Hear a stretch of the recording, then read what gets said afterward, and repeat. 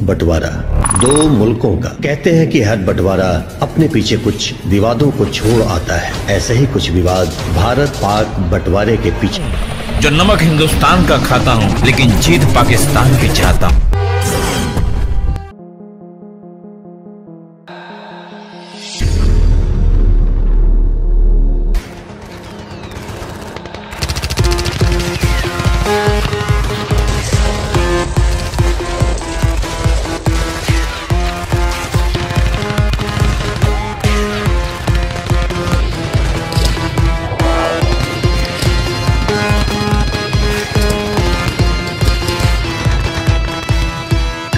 पाकिस्तान ने अब तक चार जंगें लड़ी लेकिन लोग शायद ही ये जानते हैं कि इन सब के अलावा एक लड़ाई और लड़ी गई थी।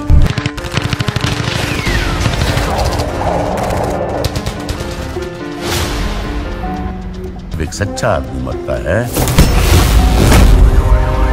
तो उसकी सत्ता शुरू होती है। मुंबई से बाहर निकलने वाले सारे रास्ते पे नाकाबंदी लगा दो। मुंबईच्या बाहर निकाला नहीं पाजे